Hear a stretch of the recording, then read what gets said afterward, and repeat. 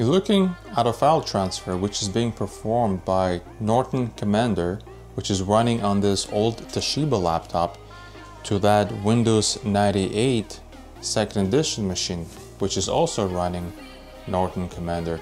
And all of this file transfer is being performed over this parallel interface. The thing is, I cannot boot into Windows on this machine.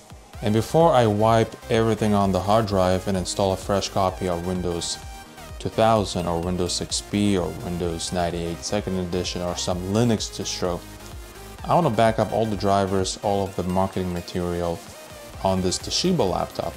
And yes, this Windows 98 second edition machine has access to the network. I can access the file server, specifically TrueNAS, even Windows Server 2000, which is running in VM. Thank you for watching. Don't forget to subscribe, and I'll see you next time.